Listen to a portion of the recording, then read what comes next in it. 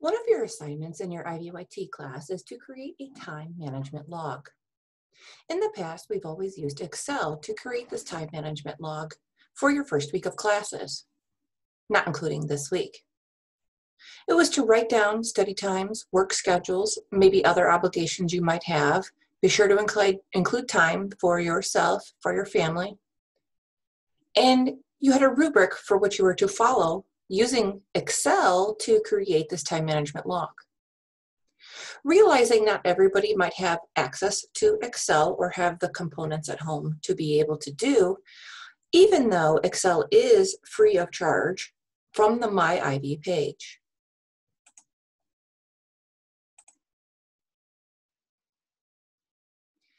If you wanted to download Excel at home to do this assignment, you could go to your student tab under student resources and find the software link under other resources.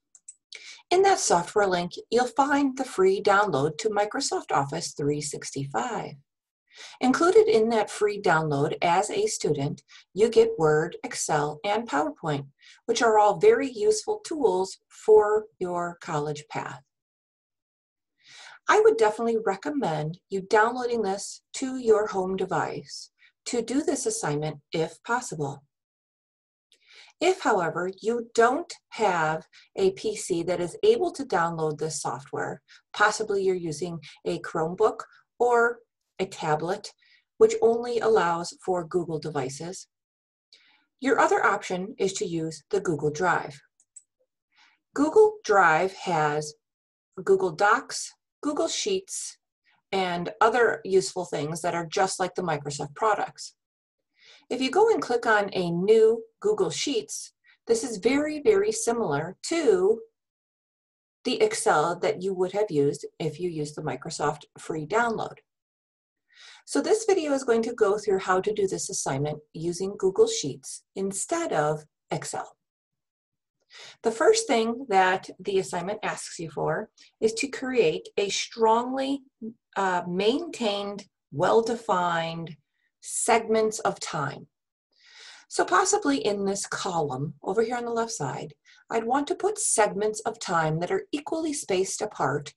And in the second column, uh, column B, I will put uh, the descriptions of what I will be doing in each of those time frames.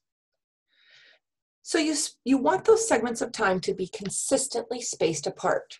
So if you do an hour here, then the next one has to be an hour apart as well. You don't want to go 10 minutes and then 30 minutes and then maybe 60 minutes for the next one. You want them all to be the same distance apart. And you want them to be well defined. So for example, the start of the day, I'll start it at midnight because that's really the start of a particular Tuesday, let's say.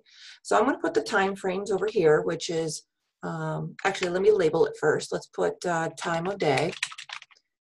And then the first one I'm going to put is, which would be midnight, and I'm going to go in 30 minute increments. So the next one, if it's got to be 30 minute increments, I want to be consistent. It's going to go to 1 a.m. in the morning. So of course I'm going to do this all the way down until I get to the end of the day, which would be midnight. So I'm going to let you pause this video here and create this first column on your own.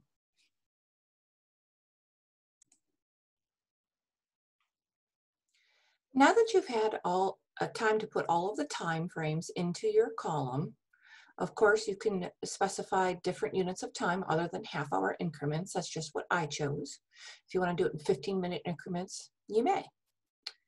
Now what I'm going to do is I'm going to put the activity that I'll be performing in each of those activities or time frames. So of course, for me, I'll be sleeping.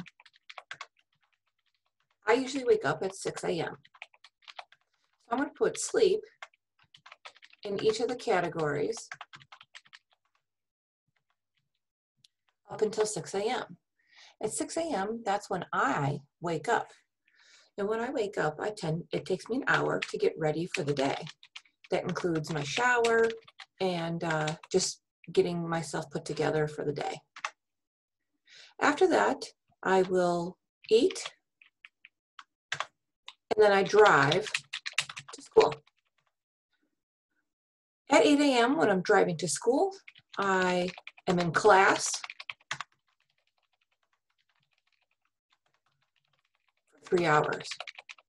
Again, this is just me just as an example. Of course, you would put what you're doing in those time frames for your time log activity. I'm going to go ahead and finish the rest of this column on my own per what I do for my activities. So I suggest you pause the video and fill out your own for yours.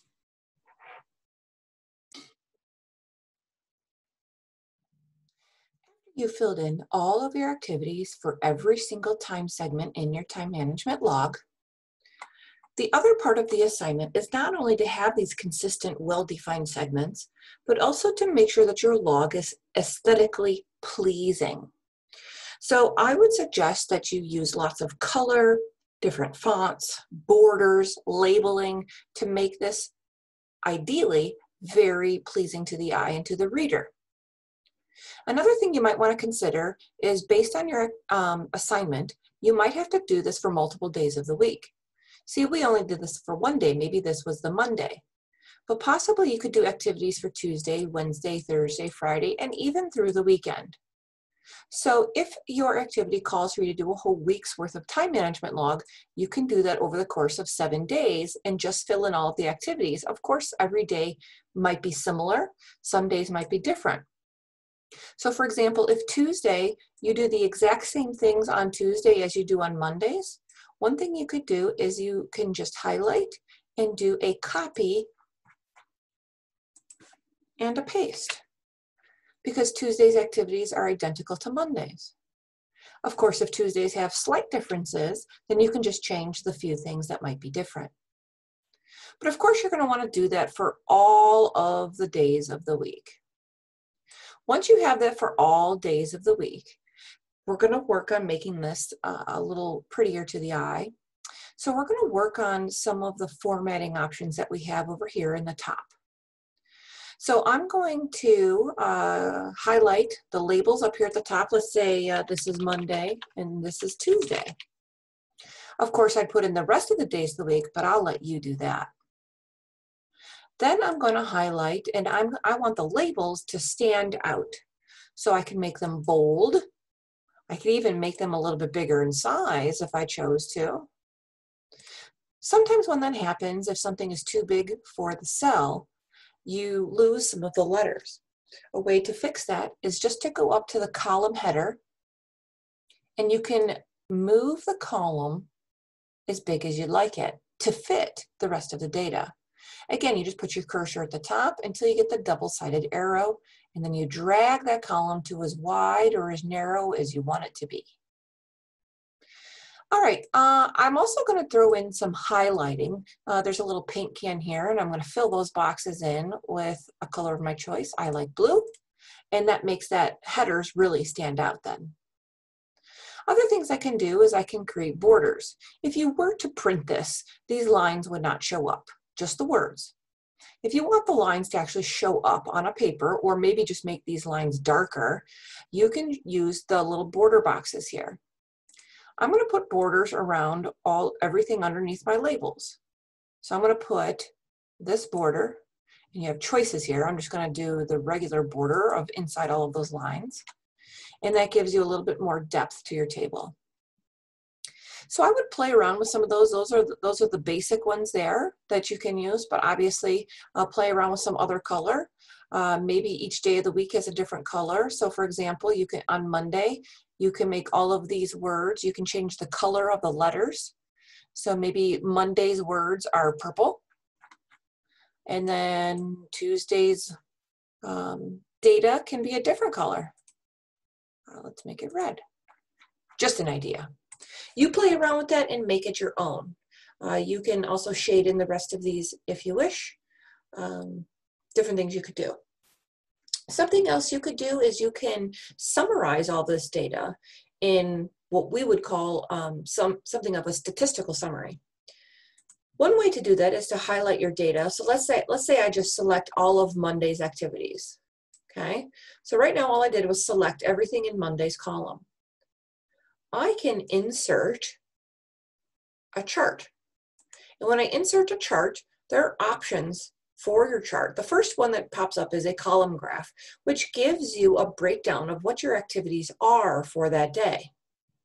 You can see that sleep takes up the biggest portion of my day. And then after that would be work, school, and then Xbox. Okay. You can change how you stack those uh, if you want to. Um, that just makes them all the same height. Clearly, that doesn't make much sense. I would leave it on standard or none. Um, and then you can change what your labels are down here at the bottom. Other charts you can do, uh, you can Another one you can do is you can insert, let's try, this time let's do a pie graph. So the pie graph you'll see has different options. So down here at the bottom, you'll see all different types of graphs you can do. The pie graph is a very useful one. And that shows you what percent of the day you're doing each of those activities. So obviously, as we just said in the bar in the bar chart, the sleep piece of the graph, that percentage, is 27%, or in other words, 27% of your time of your day is spent sleeping, at least on a Monday. And this is a good way to look at the whole day and in deciding on whether you're spending the time where it's most useful. Obviously, we want to be um, productive, but we also want to allow time for our well-being. So things like exercise and Xbox and things that and family time, the things that make us feel good are pieces of the puzzle that are important. But are we spending our time wisely? In other words, is if you're studying and your schoolwork isn't exactly where you'd want it to be, maybe your grades are suffering, maybe one of these other pieces of the pie you can um, shrink down to give more time to that. So I would encourage you to create this pie chart or the bar graph. Uh, it's just a way of looking to see if you're spending your time where you want it to be.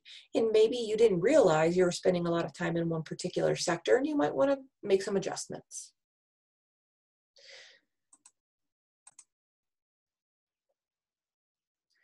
Once you have your time management log done and complete and you're ready to submit it, the nice thing about Google Sheets is it automatically saves it. You don't have to save it as you would in a Word or Excel document, which is um, something that is quite the advantage. So you don't really usually lose your data. It's always continually saved. So once you're finished, it's automatically saved. And you'll notice if you go back to your drive, you'll notice that it's automatically here in my time management log in my files. So when I go back to my assignment, my time, management log in my assignment, you'll notice uh, when you go to submit your assignment, you'll have the option to download it from your Google Drive. So if I click on my Google Drive, it's not going to let me because um, I am an instructor. I don't actually have a student account, but you would navigate towards your Google Sheets within your Google Drive. And of course, it's in your Google Drive because uh, it automatically saves there. So you can just navigate towards it uh, and it'll point it towards it and save it right here. Now, if your assignment says that it has to be an Excel file, and remember, we did this in Google Sheets. We did not do this in Excel. There is a backdoor way of saving this as an Excel file instead. So you're going to download under the File tab, you're going to download this as an Excel file. And when I download it as an Excel file, it automatically saves it here. So if you download it, you can um, open it if you're allowed to open it, if you have Excel. Otherwise, you can just save it to your computer. Okay. So if I save it as a download, as an Excel file, I can then save it as um, a file on my computer, no matter somewhere where I know where it will be. So I'm just going to go ahead and save this as, um, let's put this on my desktop, and I'm just going to call it time management log. Okay, so if it if your assignment said it specifically had to be an Excel assignment um, in your time management log, then you can file upload and go to where you just saved that time management log. So I would go back to my desktop and upload the time management log, which is now in Excel. And I have now uploaded an Excel file, even though I created it in Google Drive. And then you would submit your assignment there. So you have two different options. Google Drive and Google Sheets is a perfectly good way of doing it, but there are sometimes some instances where it requires you to have an Excel file. So all you again need to do is just make sure that you download that and make sure that you save it as an Excel file instead before you save it and submit it for your assignment.